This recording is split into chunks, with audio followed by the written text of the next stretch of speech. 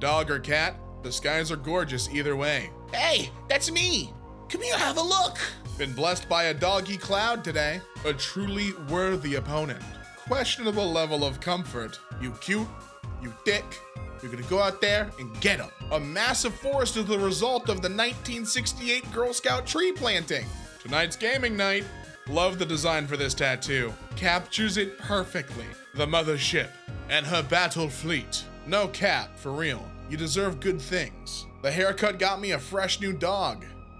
These cuddlies hit the one two yawn combo to start off the day. When I don't look that excited, but deep inside, my brain's all like,